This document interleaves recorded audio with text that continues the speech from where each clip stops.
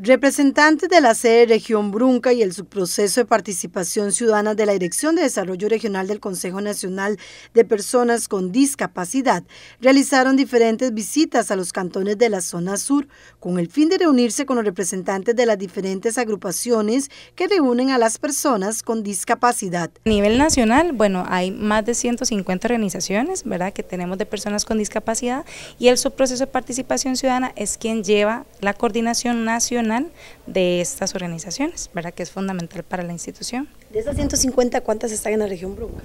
De esas 150, si no me equivoco, y la compañera Luz es la que lleva el registro, son alrededor de 10 organizaciones las que hemos estado visitando en, todo este periodo. Estado, bueno, desde Puerto Jiménez, con la parte de corredores, Ambito, ¿verdad? Hemos estado también a nivel de, de Pérez Celedón, eh, bueno, y en Terra, que es muy importante, y la idea es promoverles la participación en instancias de coordinaciones, por ejemplo, ante Junta Directiva del CONAPDIS, que pueden ser parte ante el Comité de Información de Organizaciones Sociales, que se llama COINDIS, ¿verdad? Y ante eh, también el foro consultivo, que es la instancia la cual toda la institucionalidad pública debe consultarle sobre programas, planes y proyectos. El objetivo es continuar articulando acciones con las personas representantes de las organizaciones sociales de y para personas con discapacidad y el CONACDIS. Bueno, también tener algunas consultas que tienen sobre la parte organizativa, ¿verdad? Que eso es importantísimo, incluso el poder tener ese acercamiento, conocerles, brindarles, bueno, el apoyo también, tener el contacto de la persona que también a nivel nacional les puede aportar y el hecho de poder incidir socialmente y políticamente en cuanto ya sean las próximas elecciones de los cargos que ellos pueden ocupar. ¿Cuándo son esas elecciones?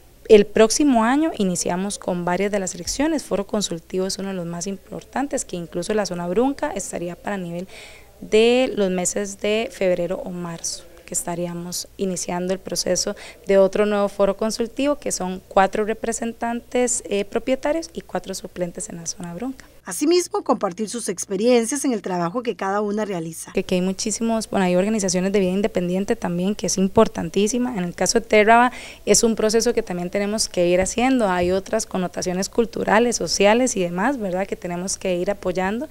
Pero ya el conocerles y el tener ese, ese acercamiento nos permite el tener ya más eh, un acercamiento cara a cara y el poder tener un conocimiento de con quién estoy conversando, tal vez a nivel virtual, que es mucho de lo que hacemos ¿verdad? Pero ya tener también ellos y ellas eso con quién voy a hablar en sede central, con quién me puedo apoyar y con quién podría también coordinar o cualquier duda que requiera pues solventar, ¿verdad? En el CONACDIS consideran muy importante que exista ese tipo de organizaciones. Para nosotros como ente rector es fundamental las organizaciones, ellos juegan un papel y para mí es gigante porque ellos son y ellas las que están en territorios. Para nosotros como ente rector tenemos, bueno, en esta parte Brunca, por supuesto la sede regional y a nivel central y todas las nueve regiones. Sin embargo, ellos y ellas están en cada uno de los territorios y saben las necesidades, ¿verdad?, primordiales y conocen todo, pues, cuanto eh, en sí eh, cada una de ellas pues necesita, cuál es la necesidad, la necesidad de la población con discapacidad de cada una de ellas, cuánta población con discapacidad hay, cuántas han identificado, cómo es el acercamiento con los gobiernos locales, ¿verdad? Entonces hay muchísimo que trabajar con ellas de la mano porque son quienes conocen al final de cuentas todos los procesos de su territorio. Con este tipo de visitas buscan fortalecer la relación de la institución con las personas con discapacidad.